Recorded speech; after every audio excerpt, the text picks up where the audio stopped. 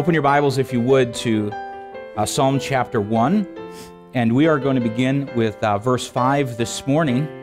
This morning, we're going to talk about a better life. And uh, there's only one message left in this series after this. And uh, I really hope that this has been a, a blessing to you, uh, going verse by verse through uh, Psalm 1. I know a lot of us know Psalm 1 by heart.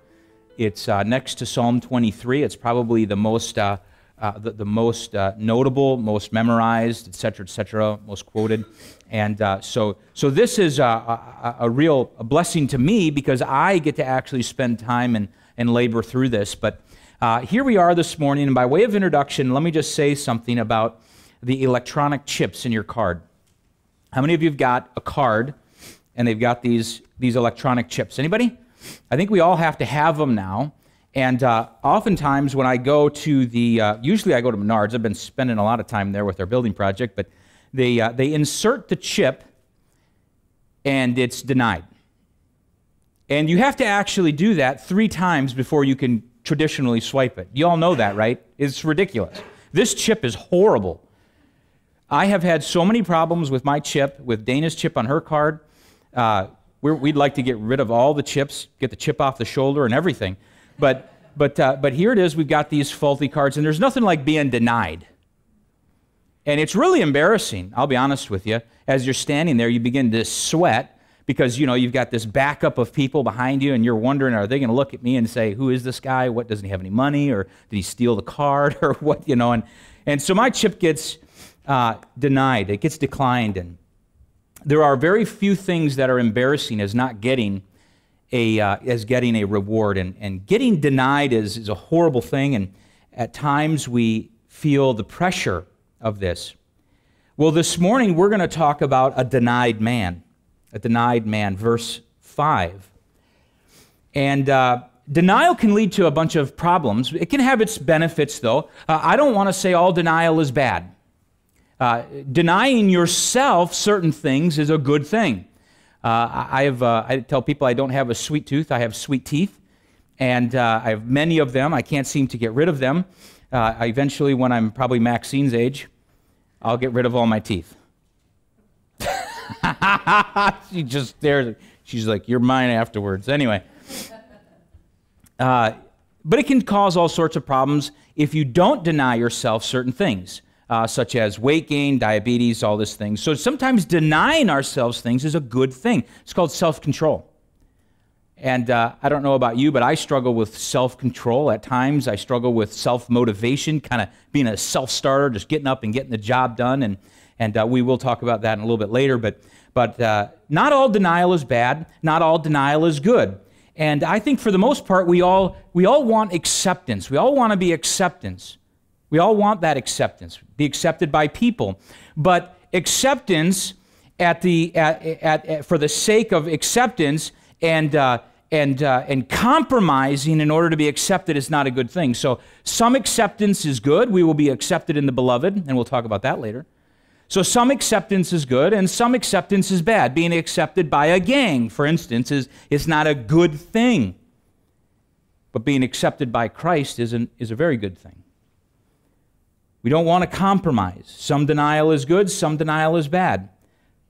Some acceptance is good, some is bad.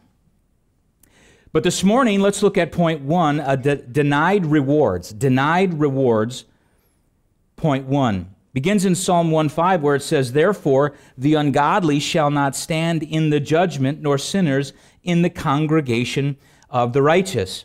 This judgment is referring to the judgment when we stand before the Lord and give an account for the works which we've done. That's what this judgment is referring to. And at the judgment seat of Christ, when our works are tried by fire, only the good workers receive a good reward. The ungodly are denied rewards because their work was wicked. And we see this illustration building from the previous verse, verse 4. So we see it, we see it growing where, where, the, where the, the ungodly are not so, they're not prosperous, they're not so, but are like the chaff which the wind driveth away. So that's where this illustration is going. And all the chaff is gathered, the stuff that isn't blown away, the rest of it is gathered and it's burned by fire because it's useless. It's, it's, it's, of, it's of no value. And in 1 Corinthians chapter 3, verse 13 and 14, it says, Every man's work shall be made manifest, for the day shall declare it, because it shall be revealed by fire. And the fire shall try every man's work of what sort it is. This is the judgment which it's referring to. The judgment where we stand before the Lord and say, Lord, are my works acceptable? Not to get into heaven, but because we are going to heaven. Remember, our the, the salvation is not a work which we do, it's accepting, it's putting our faith in the work which God has done for us on our behalf. But there is a reality to the things that we do here on earth. What will be the reward for that?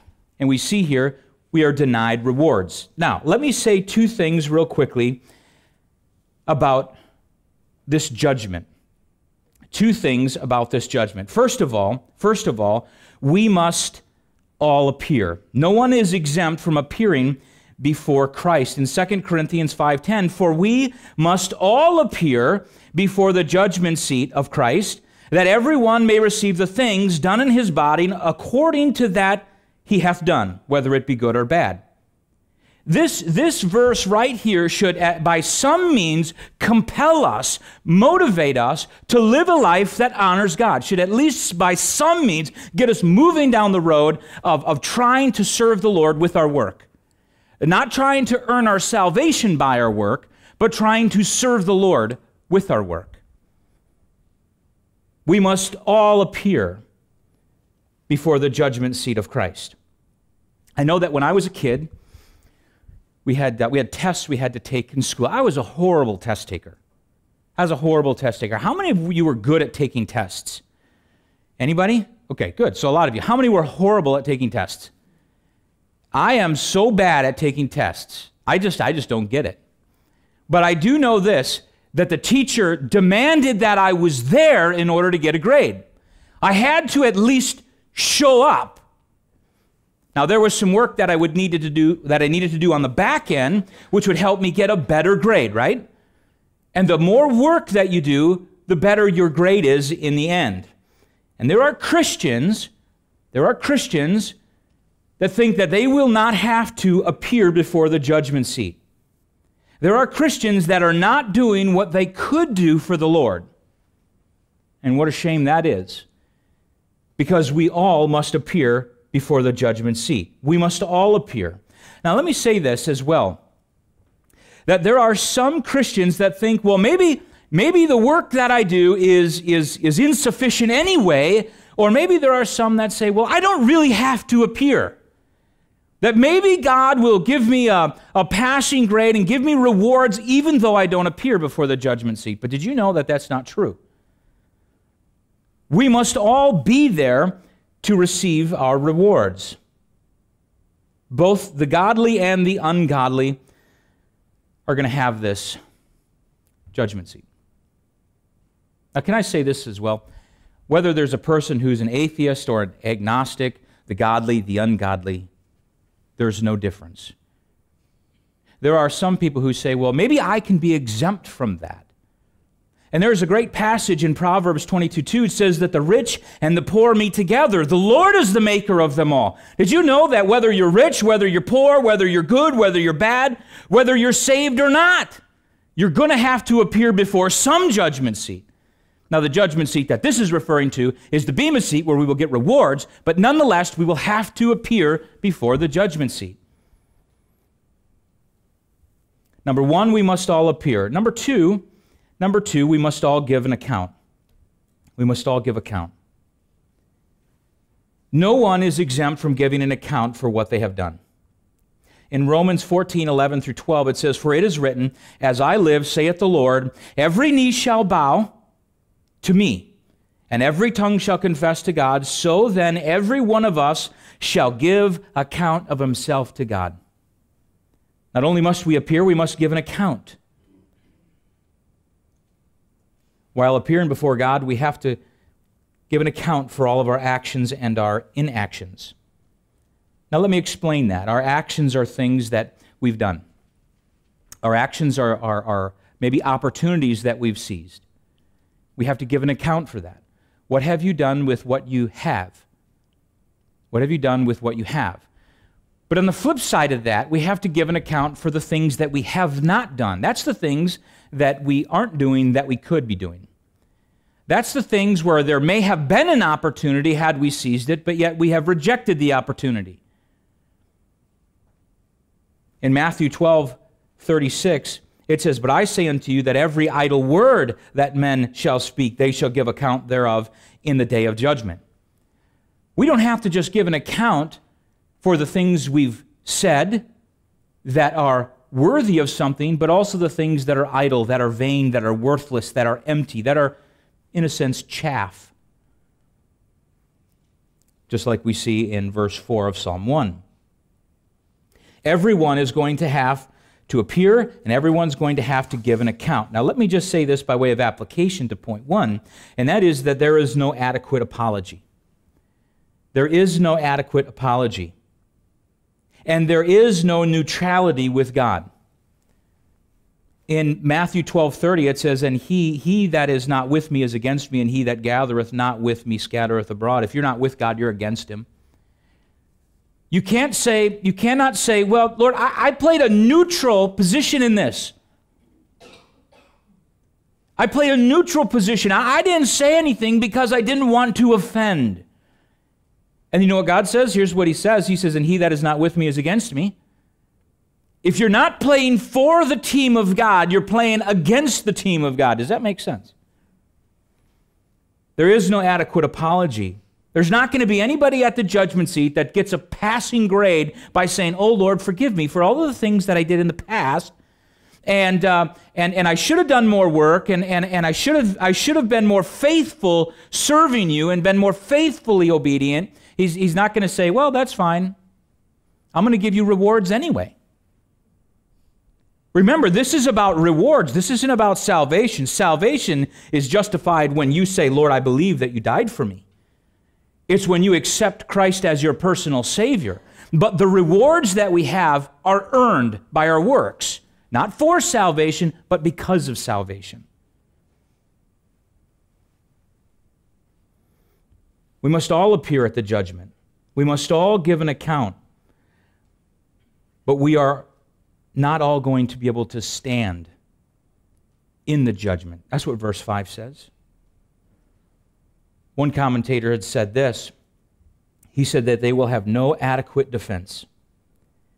They won't have a leg to stand on. What are you going to say? What are you going to do when you have to stand before the Lord and say, We know, Lord, I realize I'm here by simple grace through faith alone. And you spared my life, maybe not once, maybe numerous times. God, I, I know that I'm here because of faith in you. But my life that I had, I did not live to the fullest. What are you going to say when you have to stand before the Lord? Are you going to get rewards? The ungodly shall not stand in the judgment. You don't want to be one of those we are denied rewards. But point two, we are denied responsibilities. We are denied responsibilities. In Psalm 1:5 it says, "Nor sinners in the congregation of the righteous. Therefore the ungodly shall not stand in the judgment, nor sinners in the congregation of the righteous." Did you know at the end of time, at the time of the judgment, the saints are to judge the world?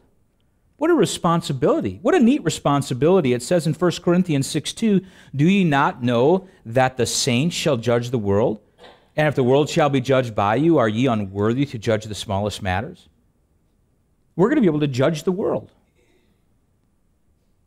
But it says here that sinners won't be able to stand in the congregation of the righteous. That is, that we will not be able to participate in some of the things that the godly participate in. At the time of the judgment, because the ungodly person has rejected their personal responsibility before the Lord in the past, the Lord will reject the ungodly's person responsibility later. That is to say, that because you do not do what you should do now, you won't be able to do what you could do later. How many of us know that? That we have a responsibility now to serve the Lord the best we can. Our present behavior will affect our future blessing. And the ungodly will be denied blessing of judging the world. Now let me say this too that the sinner the sinner denies their responsibility before God. That is to say, that we say to ourselves, you know, we don't really have a responsibility. We don't have any responsibility here on earth. We're just uh, uh, kind of live and let go, right? Kind of live and let God, kind of live and let go. We just, we just kind of live in our lives. And, and we, as a matter of fact, in Sunday school, it talked a little bit about that, that, that, that there is a responsibility. We have a responsibility.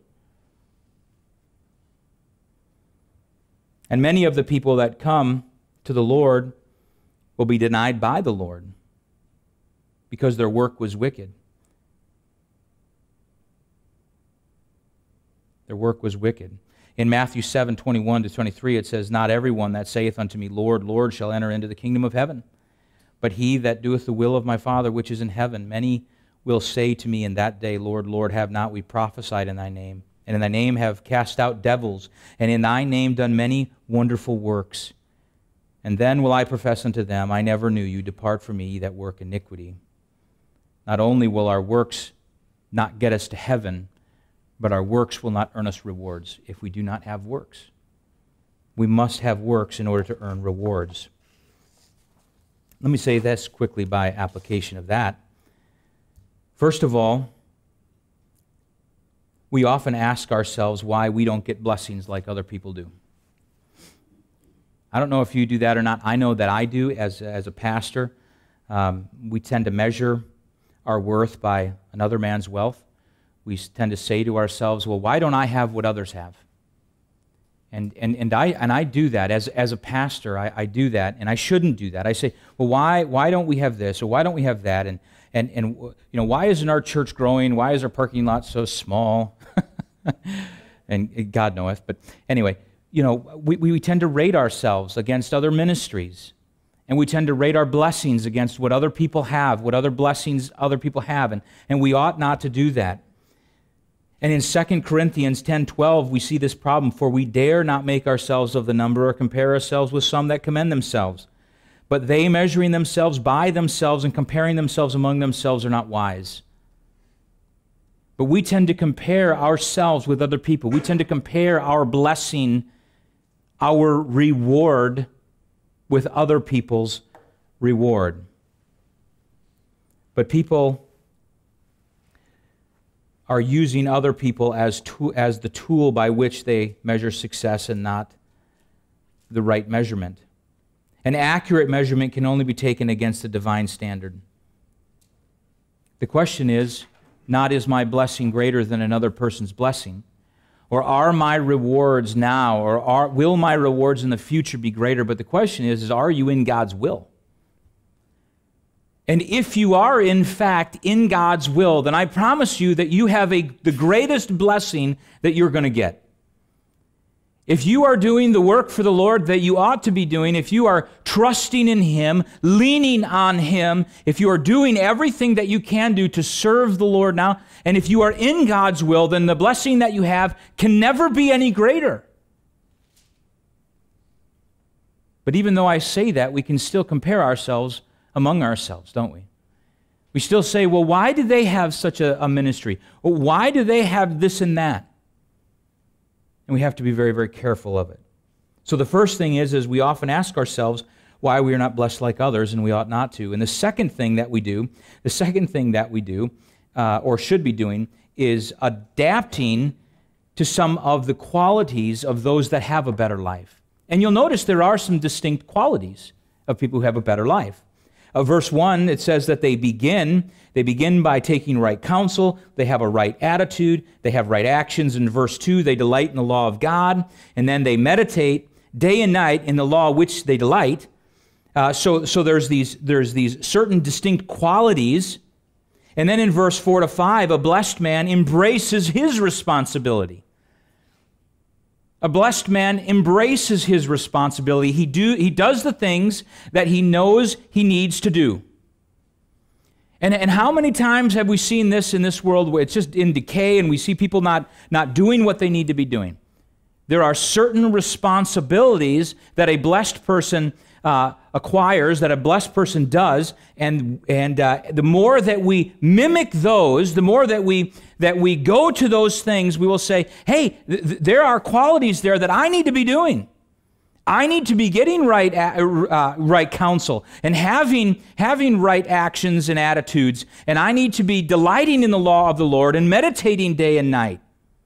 And the more that you do that, the more you'll have a blessed life.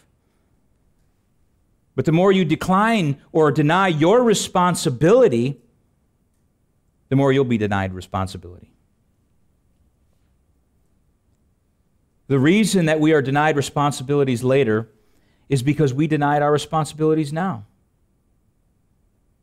And can I say this too? Like never before have we had people who, who just who don't who don't do what they should be doing and uh, we see it in uh, we see it in in financially we see it in, in families. We see uh, young young moms and dads and, and not not doing what they should be doing.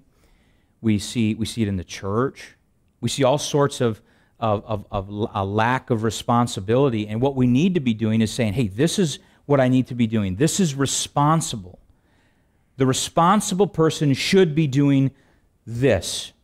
I remember I was, I was at a political thing on Friday. Was it Friday? And we were sitting around this uh, round table. We had, what, 20 people? There were five senators, and there were probably, yes, 15, 15 people. And, uh, and we were talking to these, uh, to these senators, and they, they, they, it was a discussion about gambling, marijuana, abortion, all of these things. So I felt like I could, I could uh, speak, uh, speak my mind. And, and uh, they went around. I didn't say a whole lot. But in conclusion, at the very end, I, I, asked one of the senators, I said, hey, can I just, can I just throw this out there for you? Here, we're, we're talking about marijuana, abortion, gambling, taxes, and all of these things. And I said, can I just say this? Uh, and I just want to I just want to encourage you senators to understand something that maybe, just maybe, we are treating a symptom rather than the problem. I said, This is just a symptom of a much greater problem. All of this could be solved. And I gave the, I told him, I gave him an illustration. I said, when I went in for back pain a while back, the doctor said, well, we can give you a bunch of narcotics. And I said, I said, I don't want something to mask the pain. I want to fix the pain. I said, I want to get, I want, I want to get in there. I want to, I want to fix my, my, there's something wrong with my spinal cord or something going on in my back. Said, That's what I want to fix. I don't want to, I don't want to just have narcotics. And we have a responsibility, and I, and I began to think about this. If, if everybody were responsible Christians, if everybody were doing the things that they ought to be doing as Christians, we wouldn't have all of these symptoms. The problem would be, well, the problem would be solved. We don't have to get into a lot of the social type things, and, and, and, uh, and, and we do, but, but we don't have to. If you get enough people saved, that'll take care of itself. You get people saved and you get them serving the Lord and you get them working like the way they ought to be working, not for salvation, but because of salvation. If you get people working for Jesus, you're going to solve all these problems, all, all of the symptoms. You're not going to have to talk about marijuana. You're not going to have to talk about abortion. You're not going to have to talk about gambling and taxes and, and just a, a, a variety of other things. The whole goal is let's get people saved and let's get them serving the Lord. And you know what? I tell you this that a great reward that we'll be able to have here on earth is that we'll, we, won't, we, won't have to, we won't have to deal with all these social problems because they'll be dealt with because you have people who are serving the Lord. And they, they kept on saying, they said, uh, they said, we need more information. They kept on saying that. It was, it was kind of one of these things that all these centers, we need to inform the people more. We need to, we need to give them more information. And I, I in, in my mind, I'm thinking to myself, the people are informed. I mean, they know what they ought to be doing, they're not doing it. There's a difference, a big difference between information and motivation. I was ready to scream that at them too, but I didn't. I just was like, I'm just going to calm down, going to say anything. And, and, uh, but here's the reality you can inform someone to death. If you don't motivate them, you'll never get to the destination. Uh, you know, if you do what you always do, you'll get what you always got, right? So I'm thinking to myself, we, we, need, we need to be responsible. And as Christians, we need to be responsible. We can be informed. We have the entire Word of God at our fingertips, at our disposal. And He actually tells us what our rewards will be for our faithfulness. And we just kind of we pass on those pages and we say, why? why? When we can be responsible people, we'll get a tremendous reward. We need to be responsible. Can I say this in conclusion? That acceptance can be a really good thing if you're aiming at the right thing. Acceptance can be a really good thing. And the Bible says, the Bible says that Ephesians 1 6, to the praise of the glory of his grace, wherein he hath made us accepted in the beloved. What does that mean? That we are accepted in the beloved? Can I share with you an illustration? I want to show you this. I want this hand right here to represent you and me, and I want this wallet to represent all of our sin. The Bible says that God loves us but hates our sin. God loves us, hates our sin. There are a lot of people who say, well, if I just, um, if I just uh, work really hard, they say that maybe if I'll turn over a new leaf, maybe, maybe I'll be accepted in the beloved. Maybe I'll go to heaven if I do that. You know what the Bible says? The Bible says that the wages of sin, that's the payment for the sin, is death. Well, you owe a sin debt, which is death. And the payment for that is death. It's not church membership. It's not walking an aisle or raising a hand or praying a prayer. We talk about this almost every Sunday. It's not about being good. It's not about works. Not about your works. The Bible says it's to him that worketh not, but believeth on him that justifieth the ungodly. His faith is counted for righteousness. I want to show you this. This hand representing you and me, and this wallet representing sin. I want this hand right here to represent the Lord Jesus. The Bible says that the wages of sin is death. Jesus, 2,000 years ago, came to die on the cross for our sin. Did you see that? He came to this earth to die on the cross. We talk about Jesus' death, his burial, and his resurrection. The wages of sin has to be a death. And 2,000 years ago, he did that for us. You see, it wasn't about us turning over a new leaf or getting baptized or walking an aisle. It's when we trust Jesus Christ. Ephesians 2 8 9 says, For by grace are you saved through faith.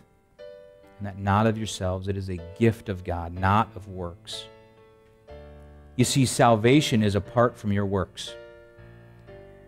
But your reward in heaven when you get there will have everything to do with it.